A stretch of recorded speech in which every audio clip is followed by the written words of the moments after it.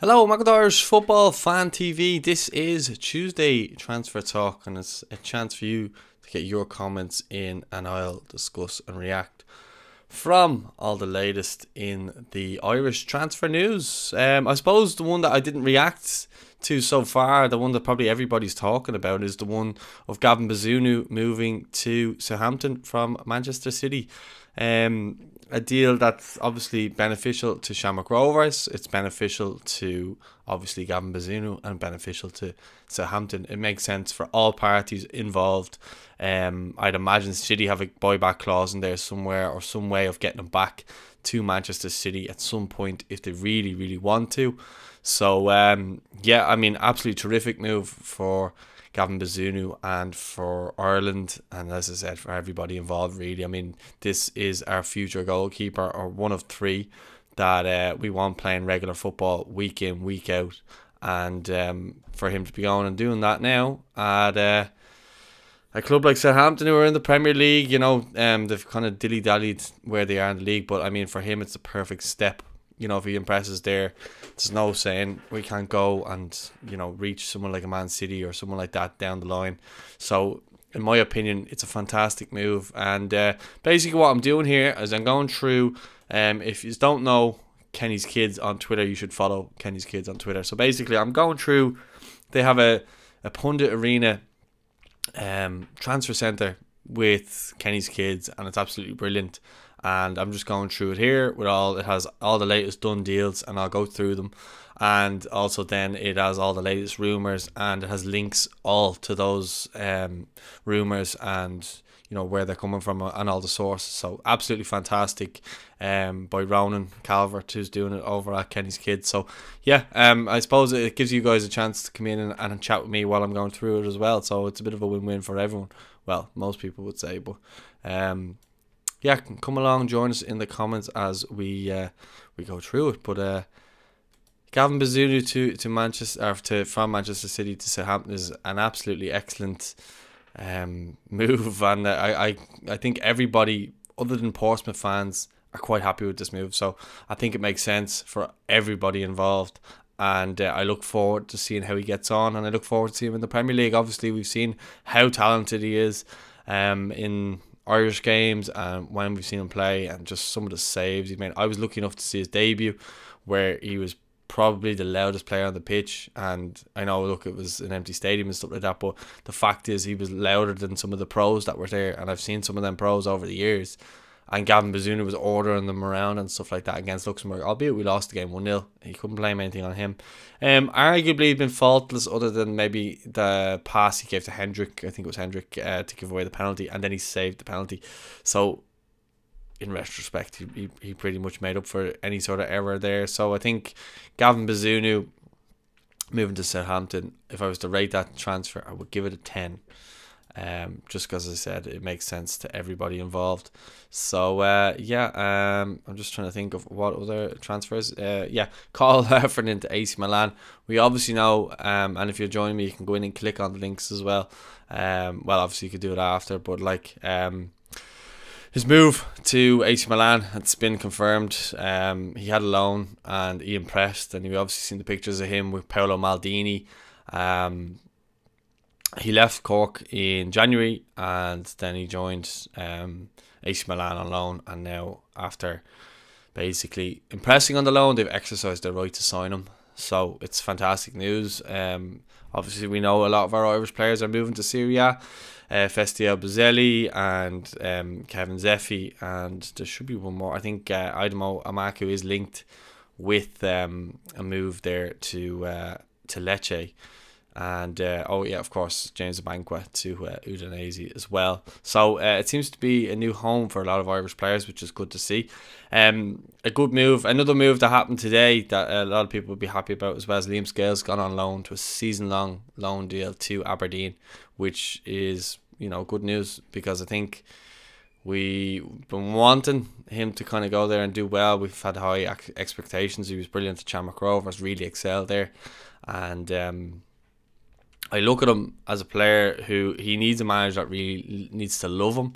Um, I think Ange will love him in time, but I don't think he trusts him right now. So I think for him to go and play with Jim Goodwin at Aberdeen. I think it's fantastic because we know that Jim Goodwin's really good at nurturing Irish talent, especially in the SPFL. We think of Jamie McGrath and what a great job he did with him there, Conor Ronan as well, and he got the job from uh, from St Mirren uh, to Aberdeen from what he did with a lot largely with those players. So um, I'd expect a lot more Irish players to be heading towards Aberdeen.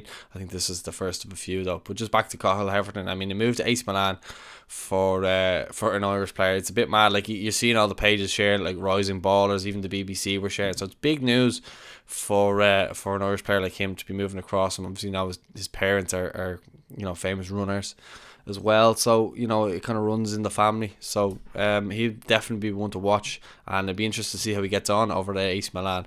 Um, another youngster who's made a big move as well is Josh Keeley. He's moved to. Uh, to Spurs from St. Pat's. Um, really highly talented goalkeeper as well. He's only 19 and um, you know, it, it's still not officially announced, but apparently it's going to be announced on the, the 1st of July, according to Kenny's kids there. So um, that's another big one. He seems like a really highly rated goalkeeper, um, one of the Irish um, underage players as well. So I think this is a move that makes sense for everybody. So um, yeah, really happy with that one. Um, what other moves have we got?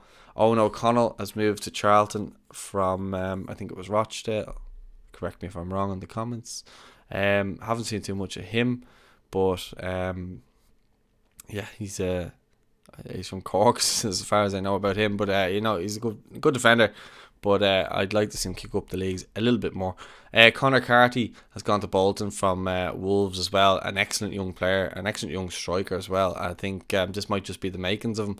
He might not have been able to maybe um, force his way into the Wolves squad. But uh, I've seen him play a good few times at underage level, and he was obviously part of that under 17 Euros team as well. We did a little interview with him and, and kind of kept our eye on him since then. But uh, yeah, uh, I mean, he's only a young fella. Um, if he can get into the squad uh, and start scoring some goals, uh, he could make a fine career for himself, I think. Um, really good young player. And um, I look forward to seeing how he gets on as well. Um, you know, going to Bolton is a pretty big club if you're kind of going looking at the lower leagues. I know people said they won't, but um, if you can do well there and, and climb up the leagues, there's absolutely no reason why um, other teams won't be looking to snap them up. Then you know. Um, then other moves, Luke Connell has obviously gone to Barnsley. Hopefully he can kickstart his career again. We obviously know he struggled at Celtic, went to a couple of um, loan deals as well uh, from Celtic and just didn't really hit it off really that well. So um, you know, it, this is probably a big chance for him now to kick on. He's back in England where he, you know, he grew up and stuff like that. He's obviously, I think he's from Liverpool, but he played for Bolton. They're not, they're not far away. Um, Barnsley as well, Northern England. He'll feel right at home there. Um, which is whether or not he can get into the team and impressed from there. Um, Gavin Bazunu to Southampton, we spoke about that one already. Uh, excellent signing and uh, really happy with that one. Sean Williams to Gillingham, that's another one that makes sense, and that's probably from a coaching point of view, that's probably going to help. Um, he was obviously with Portsmouth this season as well after coming off the back of uh, playing with Millwall. So, um, yeah, uh, it's probably a good move for him. But uh, I don't think it's going to be a move that many people are going to keep be keeping eyes on. Same with Paudie O'Connor to Lincoln. Uh, John O'Sullivan to Bohs is a good signing for Bohs. I think um, he'll bring a lot of steel to their team, which they've probably been lacking. Uh, Ryan Burke as well, good young left back, um, was with Birmingham as well. Uh, he is joined Bohs as well. So two good signings for Bohs this week. Um, or well, actually, it wasn't this week. It's been the last couple of weeks.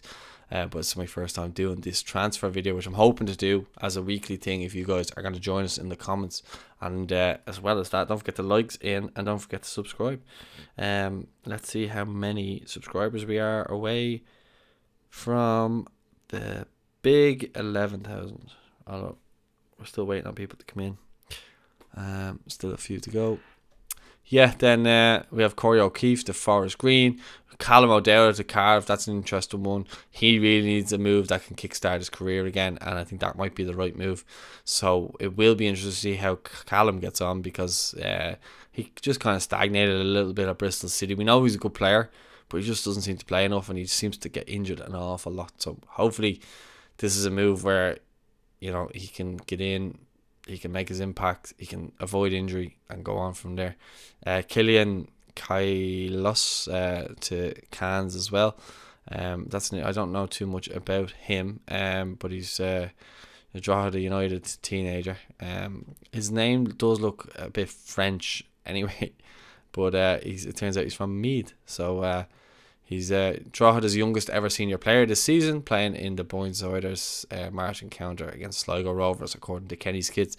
Um, sorry, he's not from Meath. That's me talking nonsense. Uh, in the meantime, talented forward has been heavily involved with the under 19 side, uh, the Ireland under 19 side. Um, so yeah, um, he's the youngest player to feature for the club in the League of Ireland, and uh, yeah, it doesn't say where he's from, but anyway, uh, he is the youngest player for Drogheda, and he has moved to Cannes or Can, if you want to call it SM Can C A E N in France. I think they're a League Two side. Uh, Oisin McEntee has moved to Walsall. Um, he was obviously coming through at Newcastle, and then Alex Murphy has gone from Galway to Newcastle. People knew about that one already. Uh, highly talented youngster as well. Uh, Dara O'Connor has gone to Greenock Morton. Uh, I think he was released by Motherwell. Uh, Alan Powers to Kilmarnock, Mark Sykes to Bristol City. That'd be interesting because he seems as though he's after taking Callum Robinson or Callum O'Dowda's place uh, at Bristol City. So that's interesting.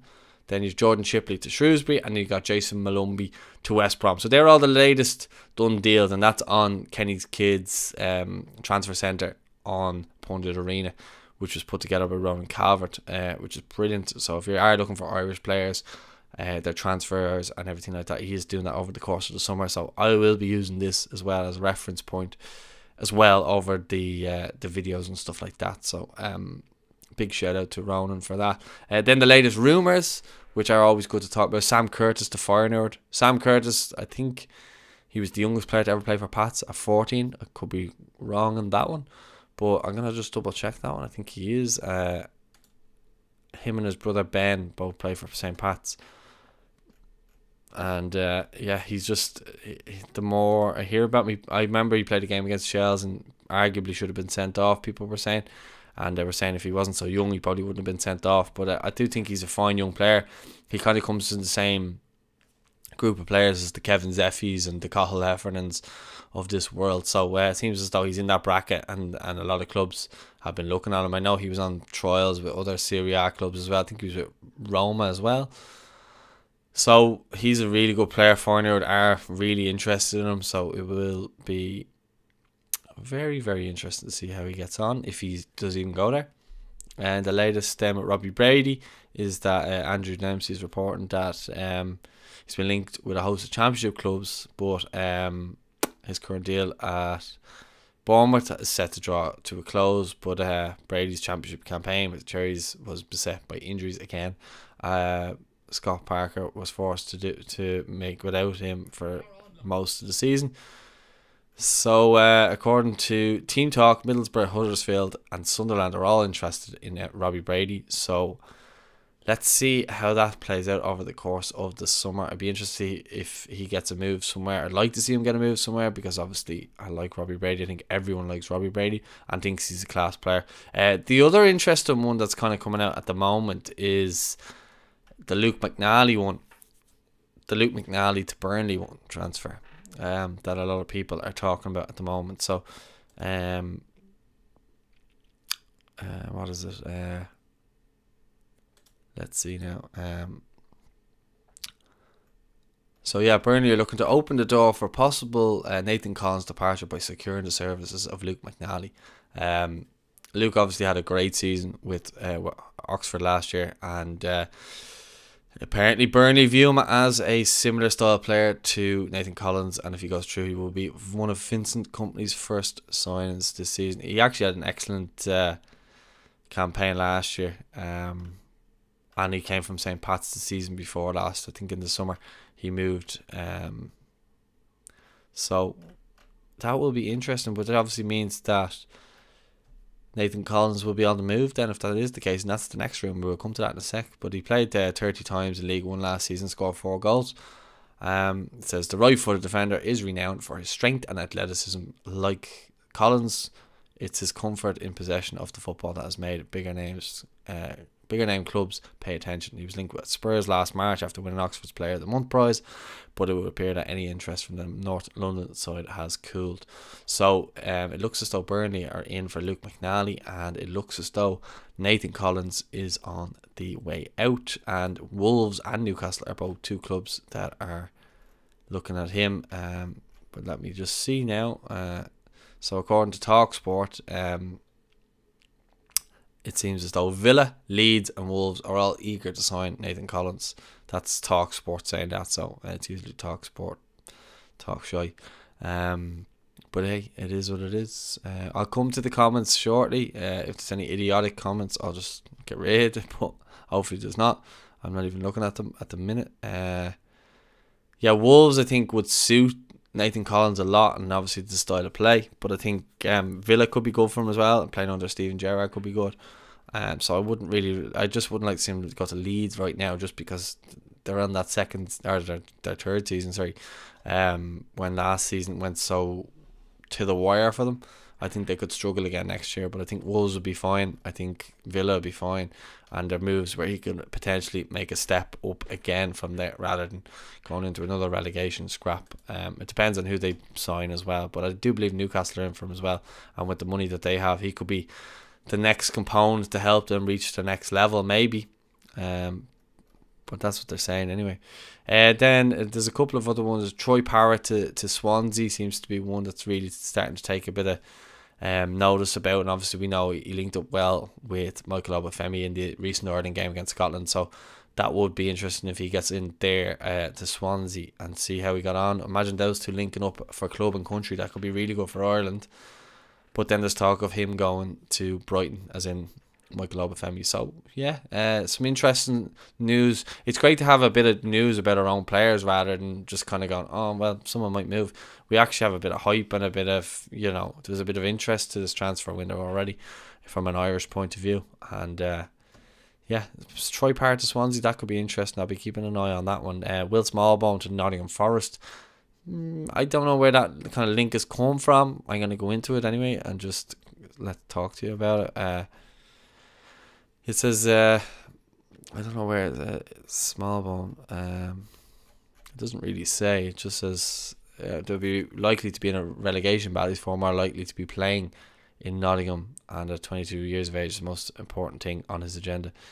Um, but it doesn't really say. Uh, they said they're leading the race to sign Smallbone fresh off the back of promotion to the Premier League, but that's all it really says. There's no heavy um, interest there. It just says that they're kind of the firm favourites to sign him if anyone wants to sign him. Uh, Darragh Lenihan to West Brom. Obviously, we saw how good Darragh Lenihan could be after, against um, Ukraine. And I think he got into the player, uh, the, the EFL team of the season as well. So I think this is a fella who is ready really to make the next step in his career. And if he went to West Brom and he'd be there partnering Dara O'Shea in, in centre back, and he'd have Jason Molumby and Callum Robinson all at the same club with him, I think that could be interesting for Ireland because you have the four of them. You know, you remember uh, when the Preston lads used to play uh, together at Ireland, um, and they used to always be inseparable. I think that could be the case if uh, West Brom do that as well, and I think it could be really good for Dara O'Shea. But I could think it would do no harm for his. Uh, international chances as well if he went there. But I think if he really wanted to kick on and be number one, he should probably look at, I think, a Premier League club. But I mean, it's easy me saying that, and if clubs coming in for you and clubs aren't coming in for you, then it's difficult. Um, yeah, I see some comments coming in there now, so keep them comments coming in, lads. Good lads. I'll come to them very shortly. Uh, I'm just running through the last couple of rumours here, and then I'll go through the comments what you you guys are saying as well. So Shane Long to Reading, back to where it all kind of started from from you know English football point of view. He moved over from Cork. They originally were looking at Kevin Doyle, fairy tale stuff really, and he, he they looked at him and thought he was very raw, and he came into the team and done really well for them. And uh, you know he's gone down to probably be one of the best Irish players to come across to England in uh, recent times. I think anyway, and uh, for what he's achieved He's been an excellent servant, and uh, still playing in the Premier League. Obviously, that if that Reading thing comes to a close, then that won't be the case. Cyrus Christie to Fenerbahce is an interesting one. I wonder where like Fulham saying we have him for sale, and then everyone came onto the comments and started going, "Come to Fenerbahce." The way they always say, "Come to Besiktas." But uh, we know that uh, Cyrus was saying that uh, he is looking at a move, and he is looking at a move abroad. So I think a move to Fenerbahce actually could be could be interesting because I was in the press conference when he said that, and uh, I don't think it's. I don't think it's a bad move for him if he does go. I mean, he'll be playing European football. Likely, um, he'll probably start for them. Yeah, I think I think that's a move that could that could work for everybody really. And what else? Um, what else have we got in the transfer window? The rumors we've got Michael Obafemi to Brighton. I just mentioned that one earlier, but it seems as though Talksport are talking about this one as well. Um, but they're linking Obafemi. It says Seagulls swoop for Obafemi question mark. Brighton are one of a number of clubs showing interest in uh, Swansea striker Michael Obafemi. The excuse me, the Republic of Ireland uh, international Obafemi, 21, ended the season in sensational form, scoring 10 goals in his last 17 games. Uh, losing Obafemi would be a blow for the Swans with fellow frontman Joel Piroe snubbing talks over a new contract. I think Swansea might be having trouble financially because I think that's why they didn't sign Cyrus. Um, I think uh, he was saying that cutbacks or something like that. I think that the, the club are trying to budget better um, and that's why they didn't sign Cyrus. So that could be an issue with Michael Obafemi, and they might be looking to cash in. But I could be wrong on that. So if there's any Swansea fans out there, you can let me know. Aidomo Emakhu, obviously Shamrock Rovers, youngster, is linked with a move to Serie A side Lecce. And uh, apparently they're showing strong interest. There's again another article on uh, Pundit Arena, this time by Rudy Kinsler. And says he's only 18. He's obviously impressed for Shamrock Rover. And uh, while while lim- uh, opportunities have been limited, um, he's impressed when he's been on the pitch. So, according to journalist Neil O'Riordan, Roma and Celtic have also been keeping tabs on Emakhu, who burst onto the scene almost a year ago by scoring a last-minute winner against Teuta in the Euro- Europa Conference League, and I was at that game. I think, pretty sure I was, but uh, burst onto the scene we all know where that line came from. But um, now look, if he went, that's another player that's linked with a move to Serie A, and if he used to go there, that could be interesting. But uh, I hope it's a case if he's actually going there and he's going to be on the brink of getting into the first team rather than just going over and being thrown into a, a young side because he could just do that at Shamrock Rovers. I think he will start getting game time soon. I think Stephen Bradley's going to start trusting him soon as well. Nathan Collins is linked with a move to Newcastle as well this time and uh, that's uh, I know we spoke to about him there. Sorry, uh, going to Wolves and going to uh, Leeds and Aston Villa. But uh, according to journalist Peter O'Rourke, uh, Newcastle and Leeds are iron moves for Burnley's defender Nathan Collins. And we know if that move is to go through, Luke McNally will be going to Burnley from Oxford as well. So it could be an interesting Irish uh, twist of fate there. Um, then another actually quite good one as well As Will Keane to Club Bruges, and um, a couple of papers are, are are quoting that one, and we've heard this one for a while that uh, you know he's in uh, Will Keane. He's at the centre of a three-way transfer battle from Watford, QPR, and Sheffield United. But I think Club Bruges are in for him as well. That's just in the the English league, but. Uh, He's also attracted uh, interest from Belgian outfit Club Bruges. Uh, he's 29 and he scored 27 times in all competitions, and he won Wigan's Players Player of the Season for his standout performances last year. So uh, if he could go to Club Bruges and do well, then he might start staking a claim in the Irish team because so far he's looked out of his depth in international football. But I would give him the benefit of the doubt. Aidan McGeady is linked with a move to Hibs. So uh, at the moment, he's linked with a return to Scotland when his deal with newly promoted Sunderland is expired at the end of June. So uh, I'd imagine he'd be on the move in July. But uh, sorry, all these stupid ads are playing. Uh, but yeah, um, according to a few reports, uh, he's linked with a move to to Hibs. So I wonder if you go there and if he did, I mean, we're not going to be lighting up any trees now with Aidan McGeady, but it'd be nice for him to wind down his career in Scotland uh, where where it all started for him. So I wish him all the best if he does go there. Uh, couple, the last couple just coming in there. Um, Gavin Kilkenny to Middlesbrough. That could be an interesting one. I'd like to see Gavin Kilkenny really kick on this year and get a, go to a club that really trusts him and really gets the best out of him. I think Chris Wilder could be that type of player who, or that type of manager, sorry, who gets the best out of a player like him. So I think next season is a big season for Kenny, and I think if he has a good season, he could likely get into our senior squad. He just needs to play more senior games to be trusted. I think at senior level. Same with Will Smallbone, really, between the two of them. Um, I think you'll start seeing them. Another uh, player linked with a move to Swansea is Chiedozie Ogbene, and he's been linked with them again on Pundit Arena.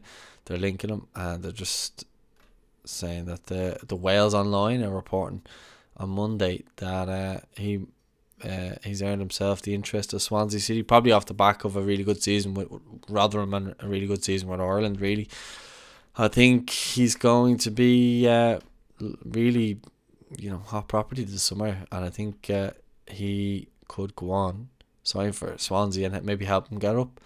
So if they did get him, I reckon they wouldn't have to pay that much for him, and he could be a really good signing if they do get him. Uh, the last one then is just Jack Taylor from Peterborough. Is look, um, he, he could be on his way to Ipswich Town, and it'd be interesting to see if he goes there.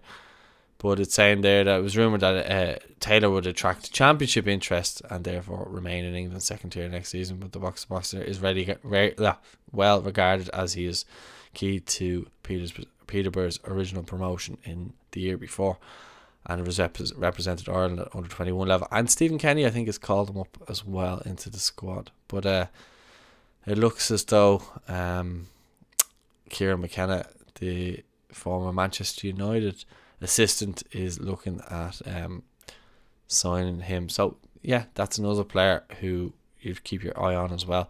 So that's it in terms of the transfer news and rumours. So I'm going to get your comments up now and I'll run through them. And if there's anything else, there's a good few comments there. Um, just let me move this out the way. So, those are good Irish keepers. Alex Moody for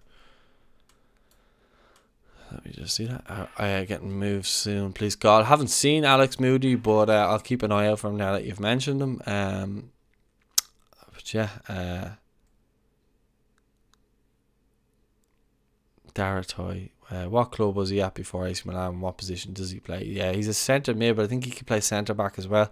The Milan might be looking at him as a centre back because the height of him. I don't know, but uh, yeah, he uh, he moved from Cork City. I think he played one or two games for Cork City in the League of Ireland and then headed off. Um, John Muckian says Justin Ferris, I did get half the publicity. He moved to Inter a long time ago now. Um, I think it was Kevin's. Uh, you corrected yourself uh, underneath there. Zefi, although Ferizaj may make his way into the Rovers first team soon. Yeah, the good players. Yeah, we'll see. I think uh, he's a, he's obviously a good player, but uh, uh, it is what it is. Um, I think Ferizaj, for some reason, he just hasn't got the move, or maybe he's delaying on the move because I know he's been at serious clubs and he's been at serious trials as well. Uh, Kenny loves O'Dowda. Yes, he does, but he doesn't play. So if you're not playing, you can't be played at an international level either. Um, Burnley look for 30 million for Nathan Collins. Villa would be a good spot for him. Yeah, I agree.